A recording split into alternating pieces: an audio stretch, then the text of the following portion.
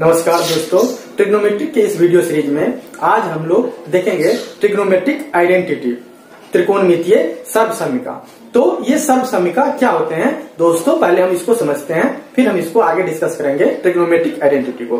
तो सपोज़ कीजिए दोस्तों कि कोई एक, आपको इक्वेशन दिया है A square plus B square equals to two A B ये एक इक्वेशन दिया हुआ है। अब ये इक्वेशन ए और बी के किस वैल्यू के लिए वैलिड है? अगर ए और बी के जिस वैल्यू के लिए वैलिड है तो ये इक्वेशन कहलाएँगे सपोज़ कीजिए कि if A equals to one और बी इक्वल्स टू वन है तो आप इसमें अगर एलएचएस और आरएचएस में आप देखेंगे तो एलएचएस में वन का स्क्वायर प्लस बी का स्क्वायर हो जाएगा और आरएचएस हो जाएगा two into one into one हो जाएगा। तो ये हो जाएगा एलएचएस में वन प्लस वन टू हो जाएगा और राइट साइड में two into one into one B two हो जाएगा। यहाँ पे एलएचएस आरएचएस बराबर हो गया। If A equals to one और बी इक्वल्स टू वन लेकिन अगर if A equals to three और बी इक्वल्स टू फोर हो जाएगा तो दोस्तों देखिए ये इक्वेशन वैलिड नहीं होगा। अगर ए इक्वल्स टू थ्री हो जाएगा तो three square plus four square ये एलएचएस हो गया। इसका वैल्यू आप कैलकुलेट करेंगे तो nine plus sixteen is equal to twenty five हो जाएगा। और आर एच एस जो होता है, वो है टू ए बी तो टू ए बी का वैल्यू आप two into three into four ये आप करेंगे तो ट्वेंटी फोर हो जाएगा। यानी कि एल एच एस पच्चीस और आर एच एस चौबीस हो गया। तो L H S not equals to R H S यानी कि जो ये इक्वेशन आपको दिया गया है, वो केवल ए इक्वल्स टू वन और बी इक्वल्स टू वन यानी कुछ ए और बी के कुछ खास वैल्यू के लिए ही ये इक्वेशन वैलिड कर रहा है। यानी कि ये इक्वेशन कहलाएँगे। और सपोज़ कीजिए एक दूसरा इक्वेशन आपको, जो कि आप लोग जानते होंगे इस फॉर्मूला को ए प्लस बी का whole square A square plus B square plus two A B अब ये जो इक्वेशन है, वो इक्वेशन ए और बी के किसी भी वैल्यू के लिए वैलिड हो सकते हैं। सपोज़ कीजिए इसके लिए थ्री और फोर हम अगर लेते हैं तो क्या हो जाएगा? थ्री एलएचएस में क्या हो जाएगा? थ्री प्लस फोर का होल स्क्वायर ये हो जाएगा सेवन का square equal to seven forty nine हो जाएगा एलएचएस में। और आरएचएस में अगर ए बी का थ्री और फोर वैल्यू को पुट करेंगे आप तो थ्री का स्क्वायर प्लस फोर का square plus two into three into four, इसको आप कैलकुलेट करेंगे nine plus sixteen plus twenty four, इसको आप कैलकुलेट करेंगे तो ये भी हो जाएगा फोर्टी नाइन। ये जो वैल्यू इक्वेशन है, ये इक्वेशन ए और बी के किसी भी वैल्यू के लिए वैलिड है। तो ऐसा इक्वेशन जो उसके किसी भी वेरिएबल्स के लिए वेरिएबल्स के किसी भी वैल्यू के लिए वैलिड हो, वो कहलाता है आइडेंटिटी और जो किसी पर्टिकुलर वैल्यू के लिए वैलिड हो, उसको हम लोग कहते हैं इक्वेशन तो इक्वेशन और आइडेंटिटी में यही डिफरेंस है कि अगर एक इक्वेशन अगर कुछ पर्टिकुलर उसके वेरिएबल जो भी है, यहाँ पे ए और बी है तो ए और बी के किसी पर्टिकुलर वैल्यू वेरिएबल के वैल्यू के लिए अगर वो लागू होता है, ये अप्लाई होता है तो वो इक्वेशन कहलाएगा। और अगर वो ए और बी के सभी वैल्यू के लिए लागू होता है अप्लाई होता है तो वो एक आइडेंटिटी कहलाता है। तो हम यहाँ पे ट्रिगोनोमेट्रिक आइडेंटिटी की बात करेंगे। ट्रिगोनोमेट्रिक आइडेंटिटी जो होते हैं, वो अगर आप जानते हैं कि सिक्स ट्रिग्नोमेट्रिक रेशियो है अगर किसी भी राइट एंगल में, किसी न्यूटोन के रिस्पेक्ट में हम देखते हैं तो छह ट्रिग्नोमेट्रिक रेशियो है।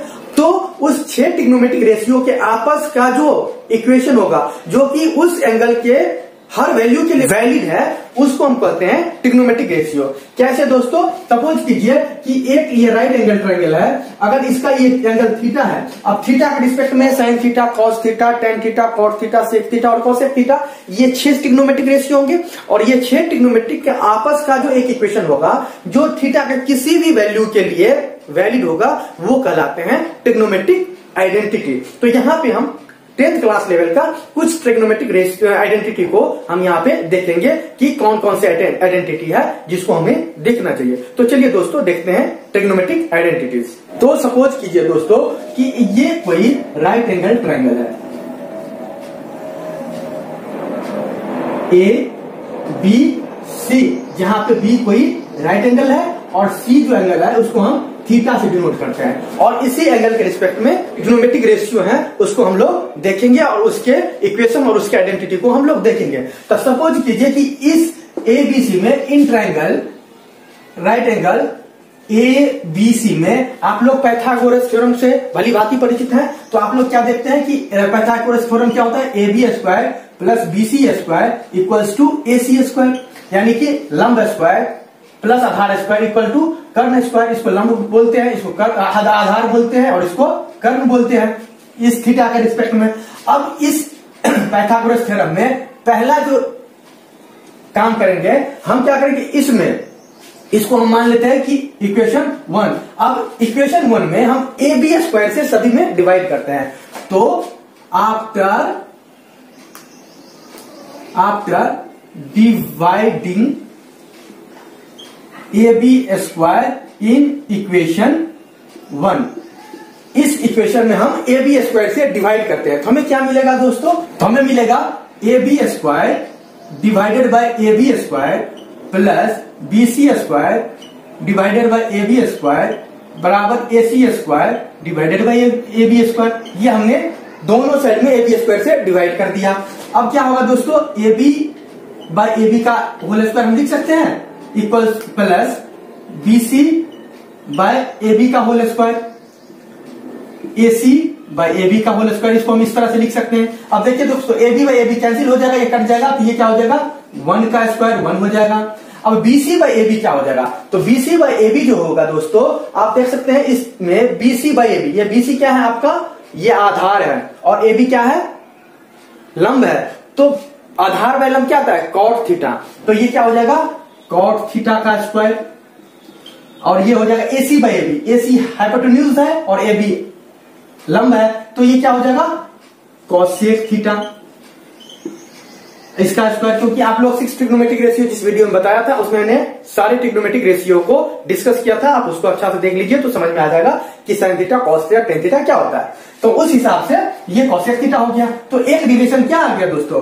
One plus cot square theta equals to cosec square theta ये आपका एक रिलेशन हो गया।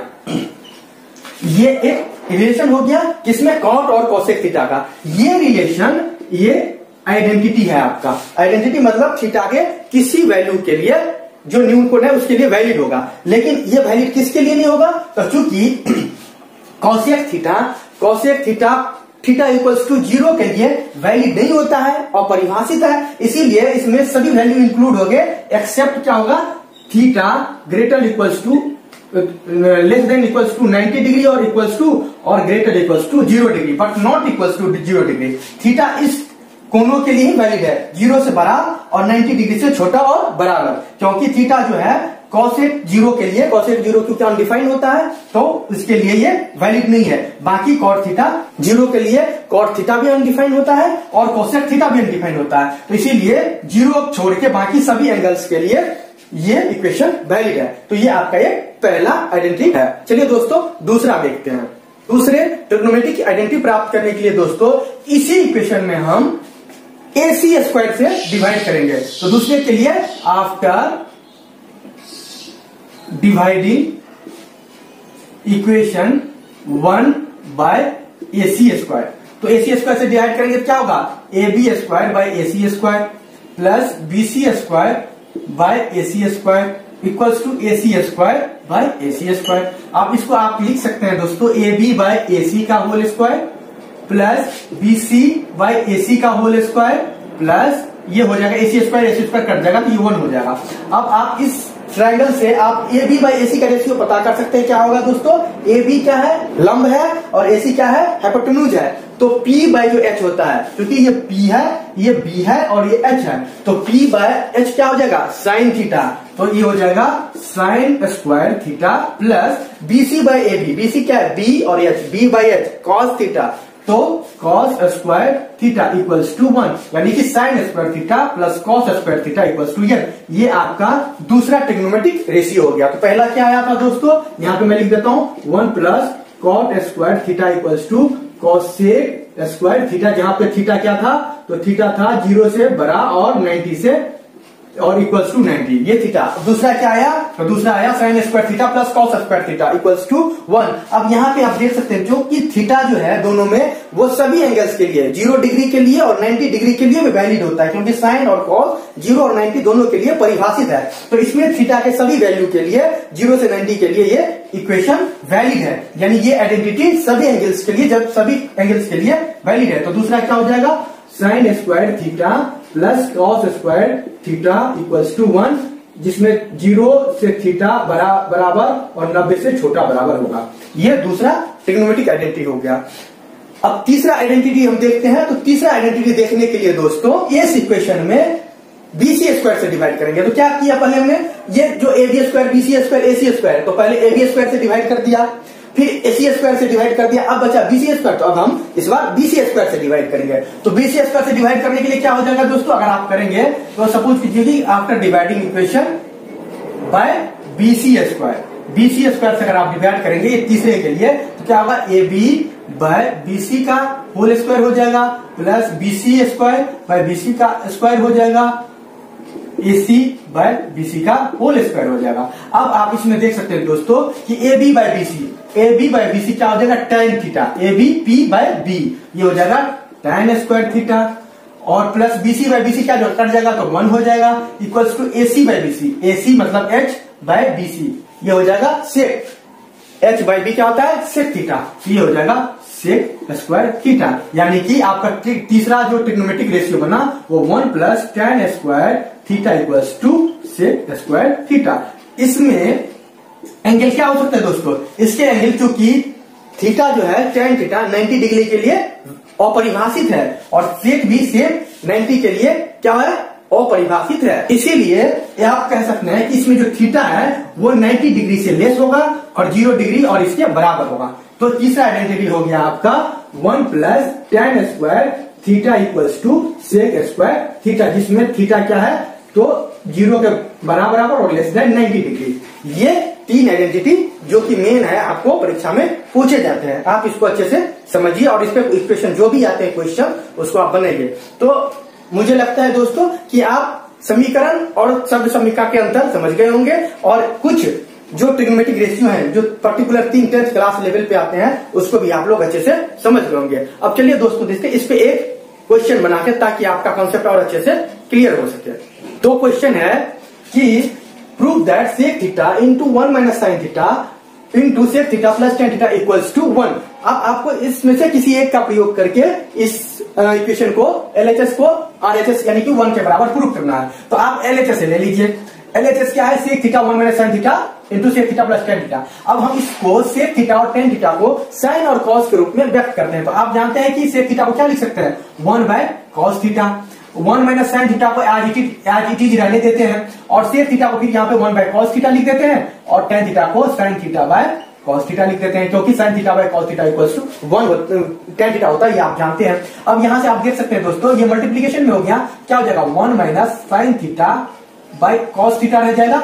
और इंटू ये आप एलसीएम ले लेंगे तो ये कॉस थीटा नीचे रह जाएगा और ऊपर में हो जाएगा वन प्लस साइन थीटा अब चूँकि ऊपर में वन माइनस साइन थीटा और वन प्लस साइन थीटा है तो आप एक फॉर्मूला अलजेब्रा में जानते हैं ए माइनस बी और A plus B A minus B और A plus B equals to A square minus B square होता है. तो ये उस हिसाब से वन माइनस साइन थीटा और वन प्लस साइन थीटा क्या हो जाएगा? वन माइनस वन के square minus sine square theta equals to और कॉस और कॉस आपस में मल्टीप्लाई हो जाएगा तो कॉस थीटा हो जाएगा कॉस स्क्वायर थीटा हो जाएगा। अब वन का स्क्वायर तो वन ही होगा तो one minus sine square theta divided by cos square theta हो जाएगा।